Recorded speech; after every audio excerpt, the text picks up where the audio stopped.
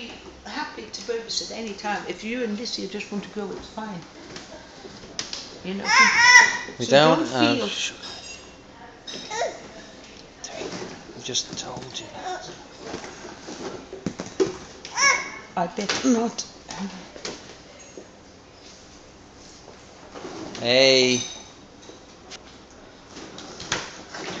Because, Yannik, I'm having a bad habit in eating sugar.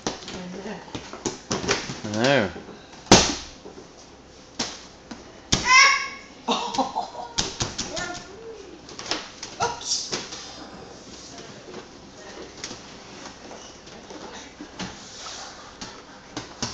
Oh, drumming.